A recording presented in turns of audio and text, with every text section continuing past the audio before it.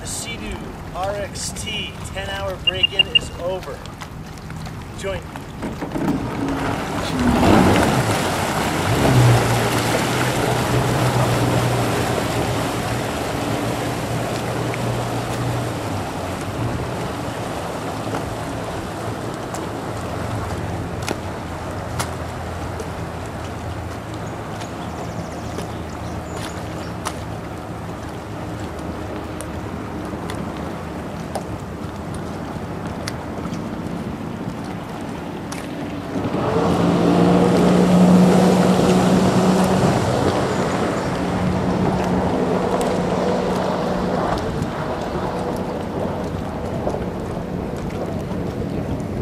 He's out of sight.